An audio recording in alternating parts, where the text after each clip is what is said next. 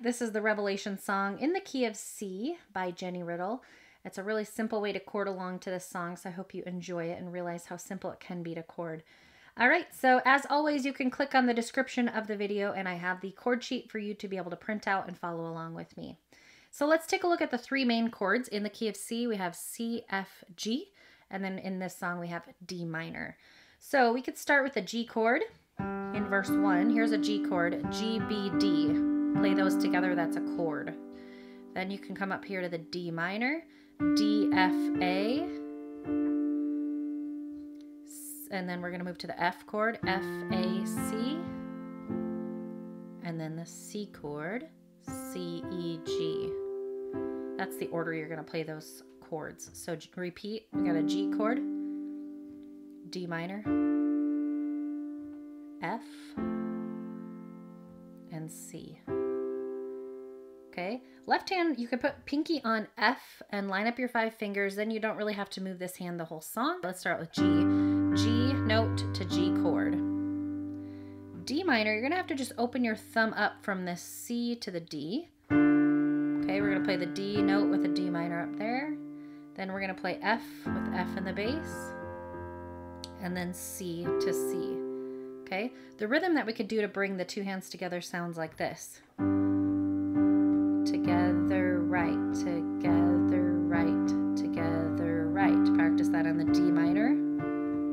Together, right, together, right, together, right, F,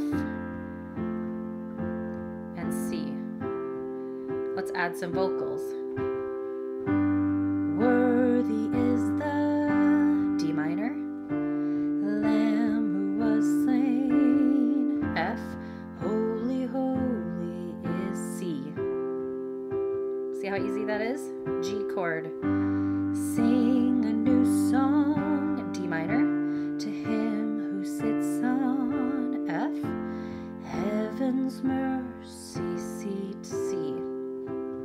That's verse one, two, and three. That's really simple. Let's just jump into the chorus so we could see what that looks like. Starting out G chord with G in the bass.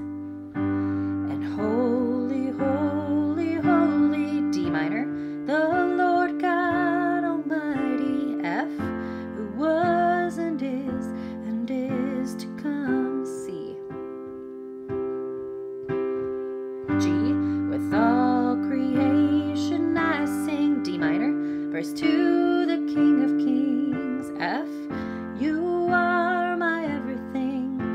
And C, adore you. And then you can go to that instrumental there. G,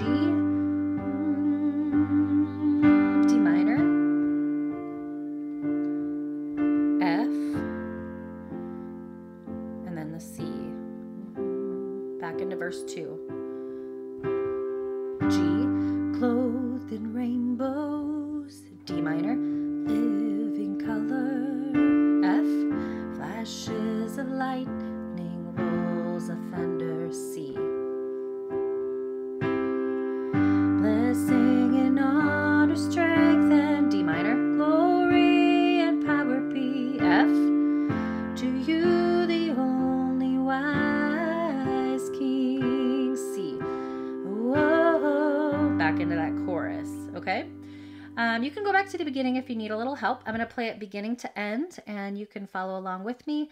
This is really simple since the verses just repeat themselves. The chord, um, even the chord progression is the same. It's just G, D minor, F, and C. And I should also note that you can go and play the G here, D minor.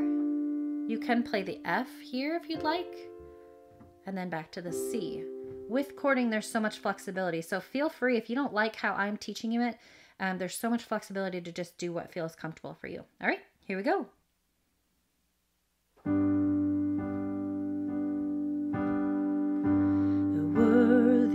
The